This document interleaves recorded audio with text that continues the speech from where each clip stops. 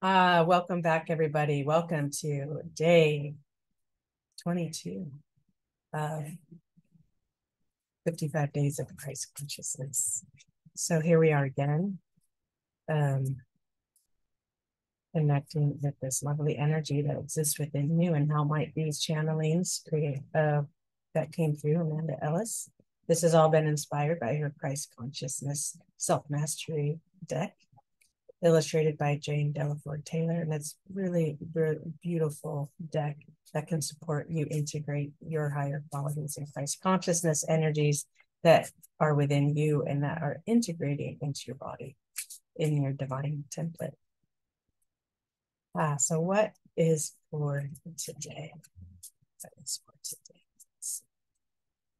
One card, please. In Jesus. Oh, there we go. All right.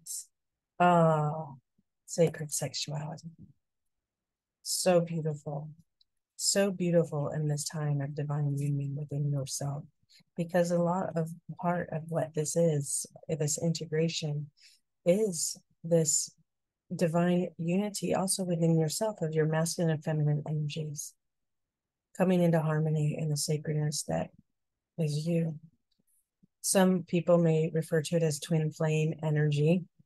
Um, oftentimes, people mistakenly equate that to a person. It's an energy, it's an energy that exists within you, and that is very sacred. Yes, can you draw forward a person that has twin flame energy where you very much are in harmony, work together? And it could be a sibling, it could be a parent, it could be a cousin. It could be a partner that you actually share life with and becomes also intimately um, in a sexual manner where it's a more romantic relationship. This the sacred sexuality is very much encompassed with that energy, but I don't want you to mistake it for just physical act of sex. This is about truly honoring the energy that you share and what is being ignited within you when you hold yourself as sacred. This sacred sexuality not sacred sex sacred sexuality. When you hold yourself as sacred and divine and those energetic centers of creation are ignited within you rising up from the heart that magnetism from your heart. It's very also Lemurian energy as you come into relationships, but also relate right relationship with yourself and the divine union of God within you, your Christ light. Okay, let's see what the card has to say. But let's take it in a little bit more because look at these beautiful flames, and that circle becomes one. We often see like a um like the Vesica Pisces symbol. It's two rings. It's two rings, right? Coming around each other and uh, creates the Vesica Pisces. Let's see if I can do it with my hands. Kind of. Right. Anyway, two rings. One ring, there would be the other. So now these are coming to make the sphere. I don't have anything to write on in front of me, so otherwise I would show you. But your divine union is coming together into wholeness and back into one, and then one sphere, and everything comes out from that sphere of light. It's healing connection. Yeah, that divine connection within yourself. It is a very powerful healing energy. Absolutely. Absolutely, because the way you connect life into others, eh, the lower the unit of the lower chakras is completely purified. You're walking through this life with so with the love energy through everything you do.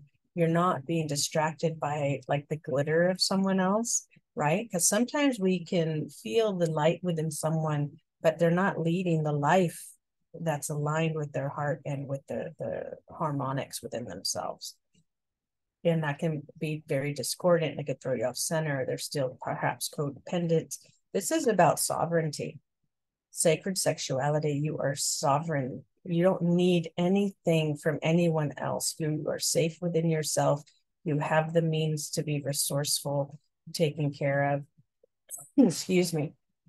Yeah, there's that piece taking care of. Like that even means financially, emotionally, spiritually, mentally. You know how to do that for yourself. You know how to bring these resources together within you.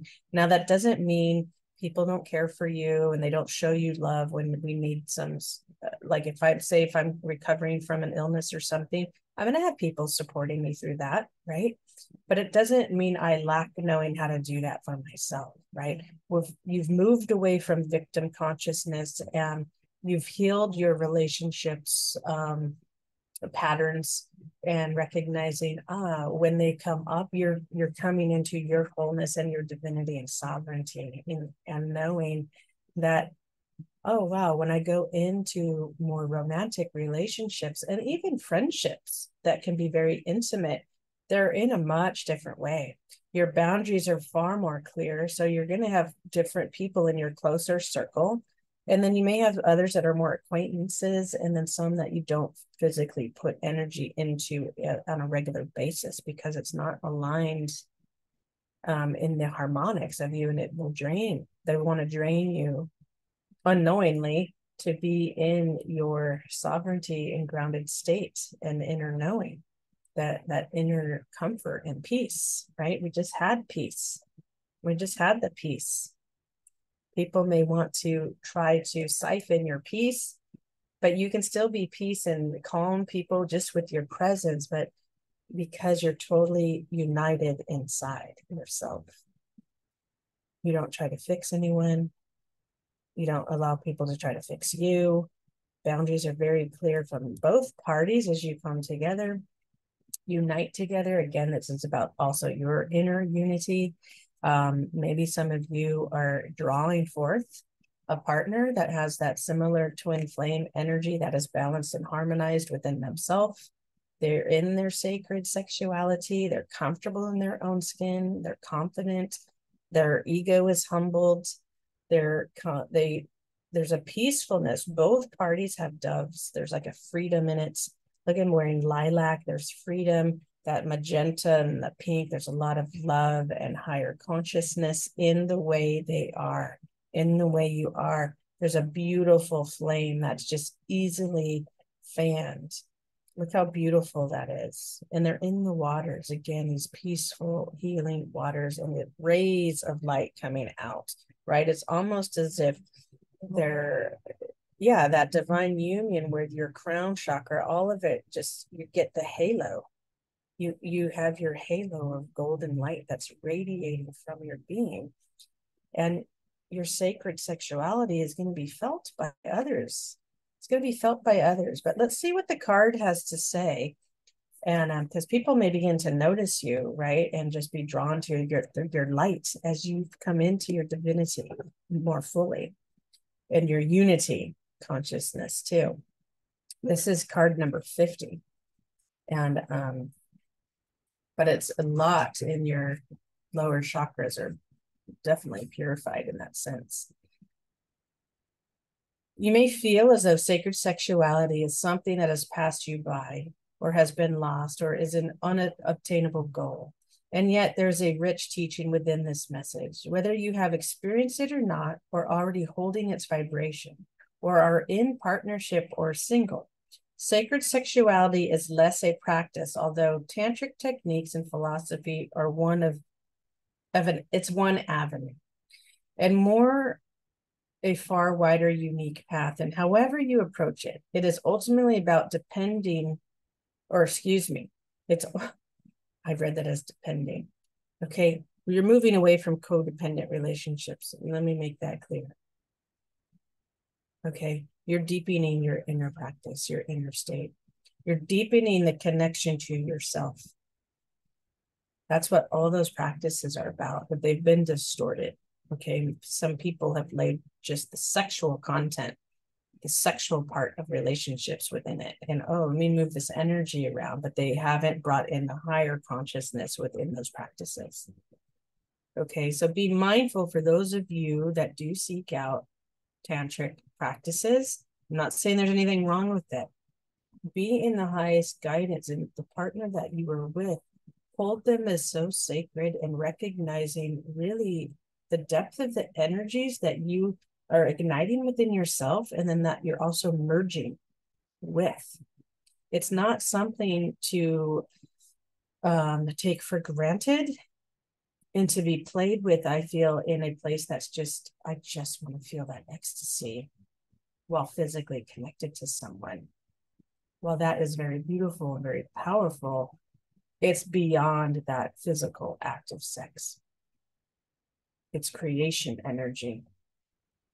It's unity and wholeness and oneness. It's that very deep connection within yourself. And when you are there and you hold yourself in the sacred sexuality and you are healing and in a deeper connection with yourself. I know from personal experience, myself and others, we do not enter into sexual relationships in the same way whatsoever. Whatsoever. In fact, the actual sexual act is the last thing on the on the on the mind. And I know from my own experience, I'm just speaking for me, when someone's approaching me in that and they're leading with that, I immediately I'm just like, nope, they're not where I would like a partner to be. Right? It's over sexualized, it's not in harmonics, it's not in the highest consciousness of vibrational state. And that's totally fine where someone else is at. I just did that life already and I'm not there anymore. So I'll move on. Sacred sexuality is less a practice. Okay. Okay, good. Philosophy or more wider path. Okay, however you approach it, it is ultimately about deepening your connection to yourself, another, and God. Many belief systems have its have at their core the holy sanctity of sex. Some decreeing that sex only within marriage is acceptable. However, it is important to realize that Jesus' narrow words on these were written decades after his teaching and were led by current thinking of the day and the writers themselves. So, in that, that's implying and really bringing forward that we have all of us have old imprints laid over in what and interpretations that were laid upon us and belief systems that have to be unwound when it comes to the act of sex right? Because we're also dealing with the divine feminine energy coming in, the harmony between the masculine and feminine energy inside you, but also in the within everybody, right? So that the, patriarchal dominance that is currently occurring in the in the world right now is coming down, um, meaning it's not. It's got to come into harmonics with the divine feminine. So we're seeing a lot of disruptive things. Me Too movement would be an example of that, playing out um, okay, but it's not just women, it's men too. Okay, because their divine feminine energy is also rising within them, but also their patriarchal or not, excuse me, their masculine energy is also finding a new sense of balance within that.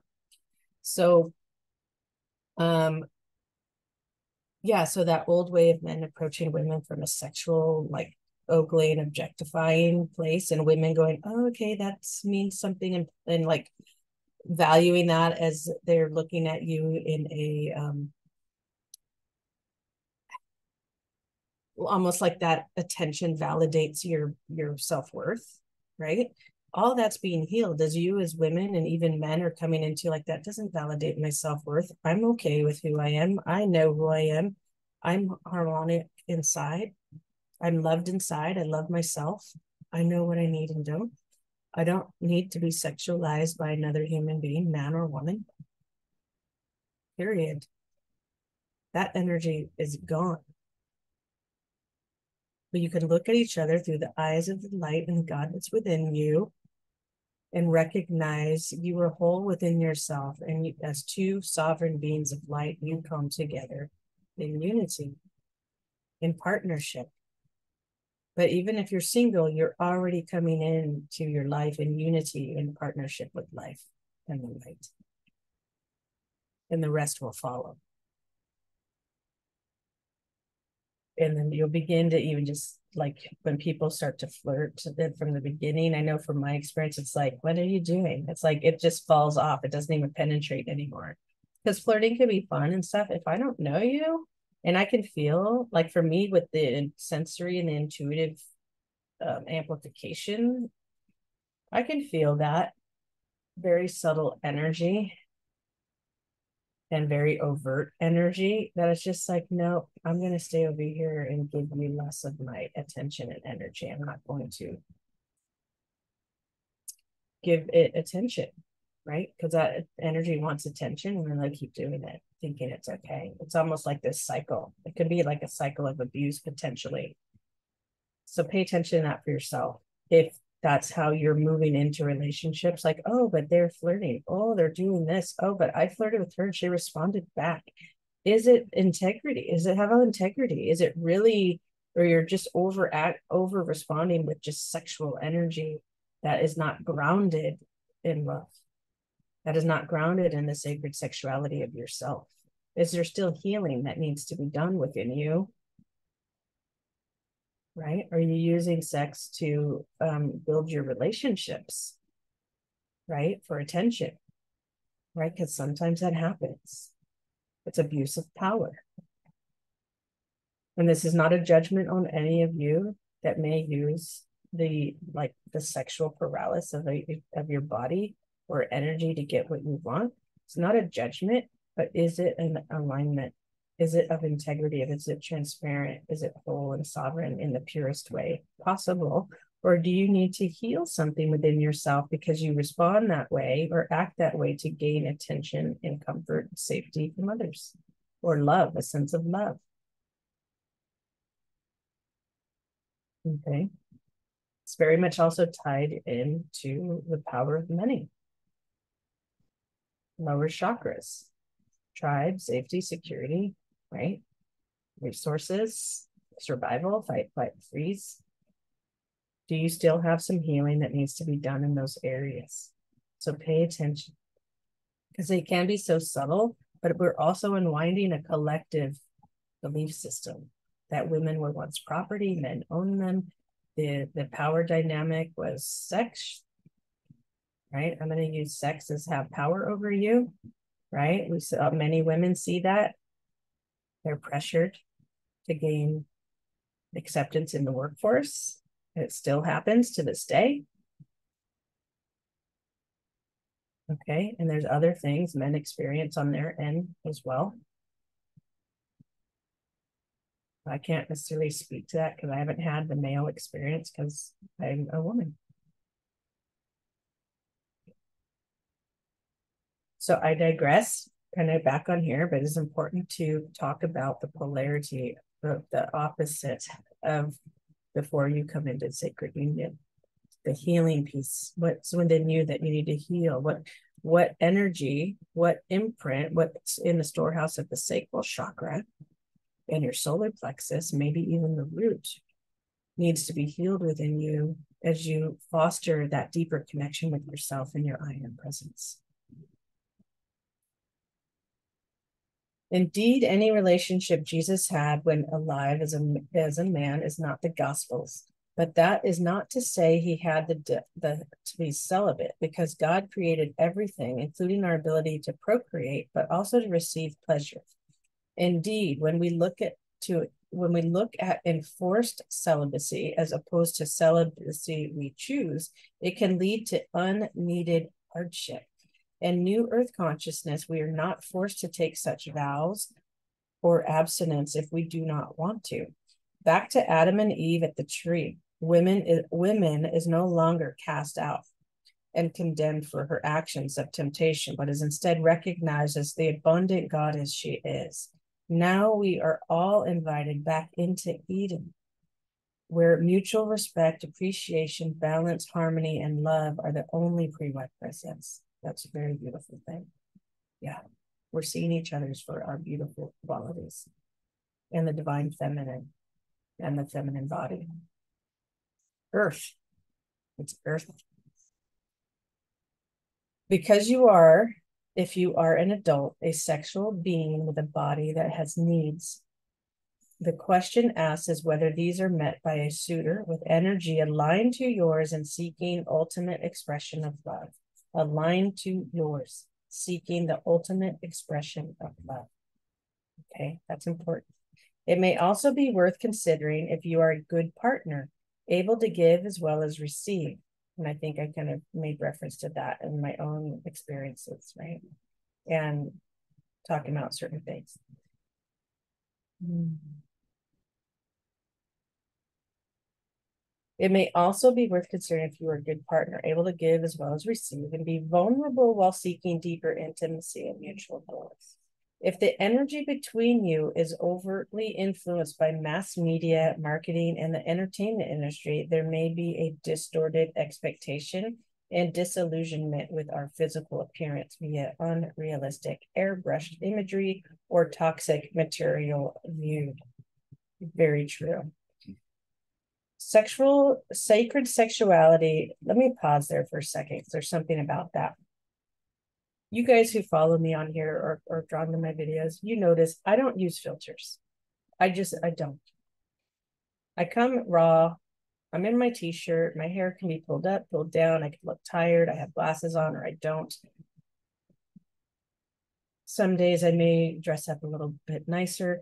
I'm here to communicate to you and that my authenticity comes through for you, right? I'm real. This is who you're getting we're in a time where AI has infiltrated every single thing. Now, it's not bad or good. You have to use discernment. But is it fostering? And we see it through the entertainment industry when we are repeated images and images and images over and over again what a man should be and look like, what a woman should be and look like, right down to what you wear, what you dress like, right? How thin you should be, what kind of hairstyle you should have, has nothing to do with who you are as a core being has nothing to do with your self development or inner state of higher consciousness, right? But it can impact your inner state and ability and influence how you see yourself in relationships that become discordant and harm you. And harm you.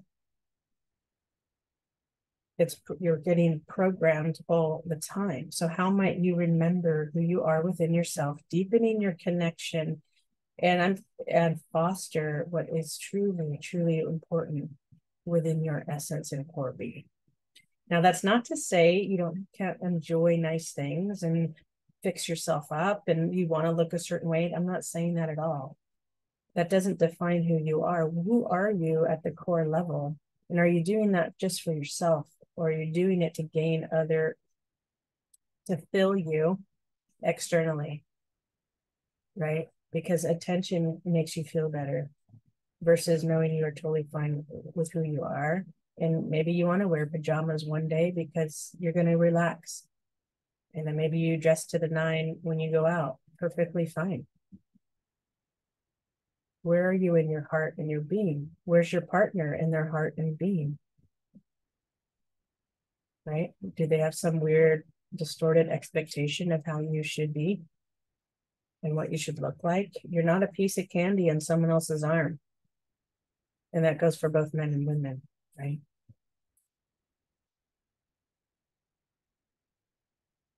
Use discernment or pay attention to what you're feeding yourself with. What, okay? I had a friend of mine, she posts often on Instagram, and I did say, Hey, Emma, use less filters. She's like, What? Emma, you don't look natural. It doesn't look like you. People want to really connect with you. And she's like, oh, and she actually started using less filters.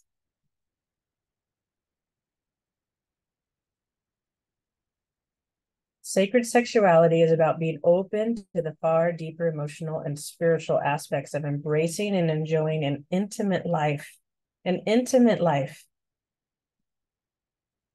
Nowadays, the vast pace, the fast pace of life can be matched with the hunt for the quick gain, whether through one-off encounters or relationships that don't get time to reveal what they can ultimately be. The rush toward being with someone because it is expected or you feel pressured by your peers can lead to a problem. Also, instead, like can lead to a problem also. Instead, like waiting for the sun to rise, some things are worth waiting for and some unions are destined. We oftentimes have outside pressure to take relationships to other levels. And I remember a dear friend of mine, and we were very close and intimate. Never, it was never sexual, but there was so much outside pressure to define what our relationship was and isn't that it actually was a contributing factor in our dear friendship like falling apart because it brought in doubt it brought in question it brought in all these other things all these other people calling it something it wasn't or worried and putting all these other things in it that it just wasn't. Just wasn't the reality. It interfered with our own conversations about what we were recognizing within our relationship and our closeness. So there was just a lot of love and care. A lot of love and care. Similar to if those of you that watch frankie and grace right? They're two women that have a lot of love and care and are very intimate with each other but it's not even it's not a sexual relationship. Right? But people start to wonder. That just needs to stop. Stop wondering. Let people be connected in intimate ways. Intimate relationships are not always sexual. You have intimate relationships all the time. You probably don't even realize it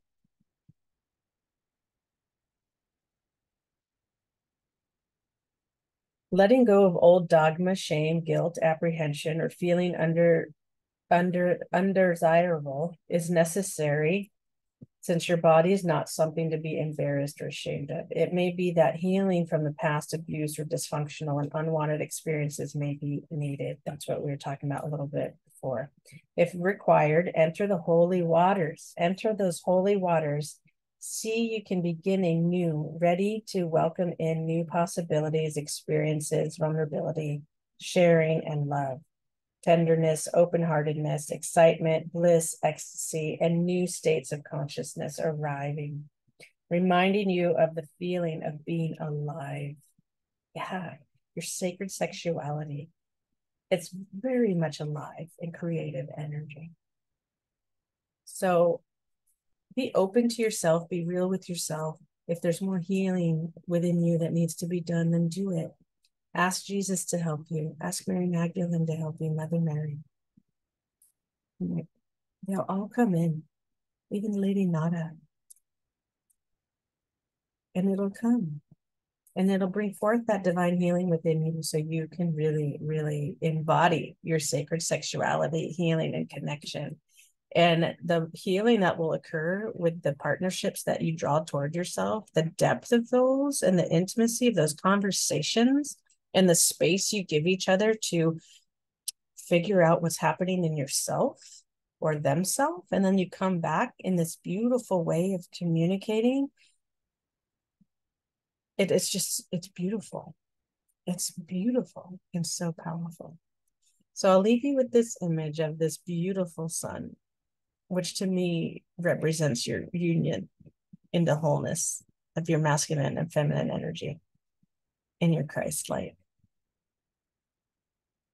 and partnerships you draw forward.